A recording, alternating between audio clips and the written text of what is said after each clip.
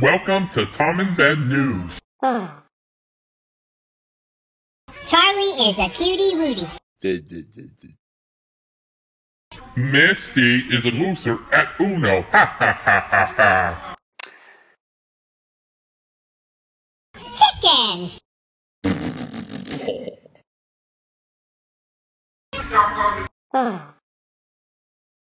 I wouldn't want that to happen. Misty is a lovable person. Hey!